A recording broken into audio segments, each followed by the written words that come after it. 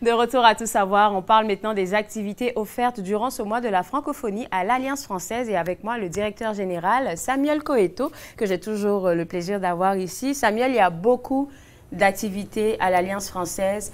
Mais déjà, parlons de la francophonie euh, en général. Comment vous vivez ce mois-là à l'Alliance française? Ah, bah pour nous, c'est toujours un, mois important. Hein. Chaque année, c'est euh, un moment où on a euh, la, majeure, la majeure partie de nos, événements culturels, beaucoup d'activités sociales, de, de moments d'échange, etc. Donc, euh, c'est une, belle période pour nous. Une belle période là. Et puis je te dis là, je pense qu'il y aura des activités un peu partout, mais vous, vous n'avez pas voulu rester en marge de ces activités offertes durant ce mois de la francophonie.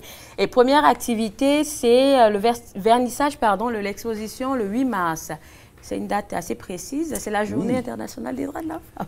Et c'est une date que nous avons choisie en, toute connaissance de cause, puisque c'est un événement non seulement francophone, mais aussi pour célébrer euh, cette, euh, cette, journée du 8 mars. Euh, l'exposition que nous présentons dans nos locaux, donc au 352 rue McLaren, est en fait une exposition qui présente des parcours de, de filles euh, et euh, leur euh, difficulté ou leur volonté d'accéder mhm. à, l'éducation dans deux pays d'Afrique, le Lesotho et le Togo.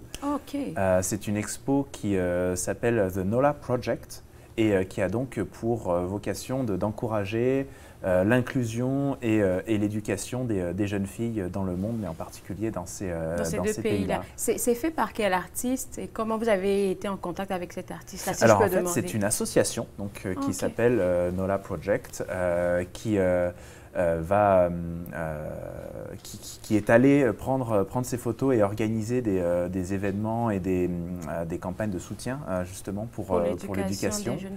Et donc une, des, une des personnes, et, qui est d'ailleurs la photographe, sera là, pas demain, mais vendredi. Vendredi, oui, c'est ça. Vendredi, c'est le 8 mars. Oui, à partir de, de 18h et donc pourra, pourra présenter son travail et les, les, objectifs derrière et les, les suites aussi à, à donner.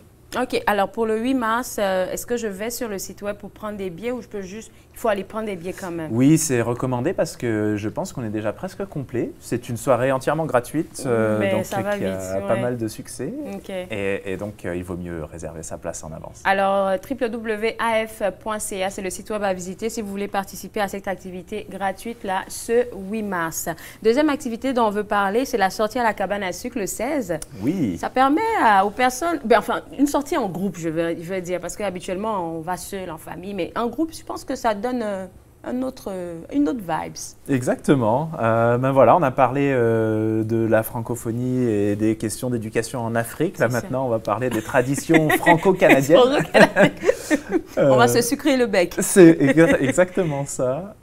donc, on organise en partenariat avec le musée au parc Vanier, donc dans leur cabane à sucre. ah, c'est un partenariat. C'est ça, oh, oui. Donc un, petit déjeuner d'abord, et ah. suivi d'une visite de l'érablière et euh, d'une explication sur le processus de fabrication du sirop d'érable. Donc, euh, à partir de 9h30, le samedi 16, euh, L'inscription est gratuite, mais ensuite le, déjeuner sera, sera aux frais des, des, participants, donc selon les menus choisis, etc. Euh, et euh, donc ça va être un, bel événement aussi euh, de, partage, d'échange et puis de découverte de, ces traditions justement tout autour du, sirop d'érable. Ça fait une belle sortie aussi là.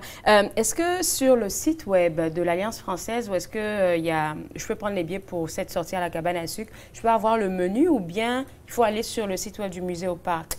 Je pense que le Juste menu pour les gens qui ne s'y connaissent pas. Le menu doit être sur notre, sur notre site. Parfait. mais sinon sur le, sur le site du, musée, au parc, également. Alors, si vous avez envie de sortir, surtout pour les gens qui sont seuls ici à Ottawa, je pense que c'est le moment là de faire une sortie en groupe pour aller découvrir la culture franco-canadienne. Alors, ça sera ce 16 mars à partir de 9h30, tu l'as dit, euh, au musée au parc Vanier. À partir de 9h30, vous allez sur le site web, vous allez avoir toutes les informations. Troisième activité dont on veut parler, c'est une pièce de théâtre qui va être présentée le 21 mars. Je pense avec euh, Maud, c'est ça? Oui, Maud Andrieux, qui est euh, donc une actrice qui était venue euh, il y a deux ans déjà à Ottawa. Qui était très contente. oui, je pense que je l'avais eu en entrevue. Oui, euh, et qui nous avait présenté à l'époque La douleur de Marguerite Duras.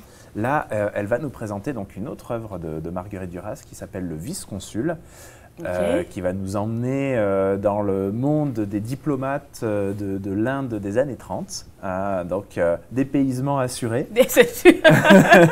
Oui. Avec donc, une très belle soirée qu'on attend au lycée Claudel. lycée Claudel, Nous avons organisé cette, cet événement chez eux. C'est une personne seule sur scène euh, et elle est incroyable. Je ne les trouve tant les artistes qui arrivent à faire ça là. Pour vrai là, est-ce qu'elle va jouer plusieurs Est-ce que tu sais si elle va jouer plusieurs personnages ou c'est un secret? Euh, bah, Je vais pas trop. On va, on va garder le mystère. Mais, euh, mais oui, hein, ça, en tout cas, ça, ça, vaut vraiment. Ça vaut, ça vaut vraiment le coup. Écoute, donc ça fait ces trois activités là qu'on voulait mentionner, mais c'est sûr qu'il y en a beaucoup, beaucoup, beaucoup sur votre calendrier si on part sur le site web. Mais il y a deux activités que je voulais mentionner qui ne sont pas seulement pour le mois de mars, mais que vous faites tout au long de, de l'année, je vais dire, au travers de vos programmations. C'est les Pub Nights in French. Est-ce qu'on pourrait expliquer le concept et comment ça se passe Oui, bah les, les, les, pub nights ou les soirées au pub, c'est vrai qu'on n'a pas vraiment de, traduction 100% euh, française c'est ça, ouais, ce terme-là. Soirée au bar. Euh, donc, euh, tous les derniers jeudis de chaque mois, nous organisons donc des événements de ce type-là qui sont vraiment euh, très conviviaux. Euh, le but, c'est animé par un ou deux enseignants de, l'Alliance française. le but est de, vraiment de converser en français, de, participer à des petits jeux pour, pour échanger. Dans un pub. Dans un pub, voilà. Donc autour d'une bière, autour d'un verre, c'est toujours des moments très sympas. Euh, avec une quinzaine, une vingtaine de participants dont, certains sont vraiment des habitués, euh, viennent à chaque fois. Mhm. Euh, et, et, oui, c'est vraiment ouvert à, tous les niveaux de français d'ailleurs. C'est aussi pour...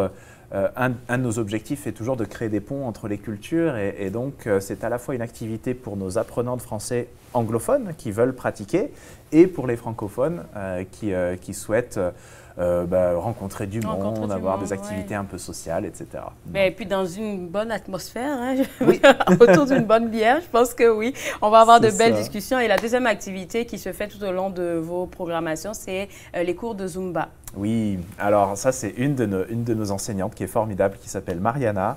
Et euh, tous les samedis, elle, elle anime des cours de Zumba en français dans les locaux de Decathlon, donc du côté de Saint-Laurent. Euh, et mm, en fait, euh, ça, ça, marche vraiment bien. Il y a toujours une, dizaine de personnes qui, euh, qui, participent. Il y a une super ambiance. C'est cool. la musique, le sport, on se dépense en s'amusant. Et puis, et puis en français. et puis en français. c'est vraiment, vraiment, sympa. Quand je vois ces, toutes ces activités-là, il y en a qui disent que Ottawa est plate. Non, il faut juste aller chercher les bonnes ressources, les bonnes informations. Écoute Samuel, merci beaucoup bon mois de la francophonie et puis au plaisir de se revoir peut-être le mois prochain. Ben si, je sais que tu es assez occupé, mais on va essayer de mettre la main sur toi. Peut-être le mois, le mois prochain pour savoir quelle est votre programmation. Et pour vous autres à la maison, plein d'activités à venir, en commençant par ce 8 mars là, où est-ce que vous pourrez avoir accès à une exposition là-bas sur place en personne. Pour avoir plus d'informations, www.af.ca, pardon, barre oblique Ottawa. Vous allez avoir euh, tous les liens, tous les liens, tous les prix, tout ce dont vous avez besoin de, de savoir pour participer à ces activités-là.